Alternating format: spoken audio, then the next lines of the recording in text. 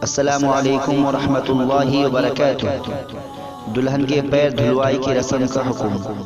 بعض علاقوں میں دلہن جب دلہے کے گھر پہنچتی ہے، تو دروازے کے باہر ہی اس کے پیر دھلوا کر گھر کے چاروں کونوں میں یہ پانی ڈالا جاتا ہے۔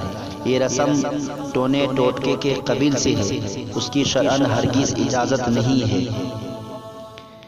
لہذا ایسے رسم پر نکیر کرنے لازم ہے۔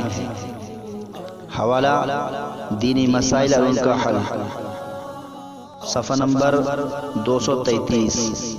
بہشتی زیور، حصہ چھ، صفحہ نمبر چھتیس۔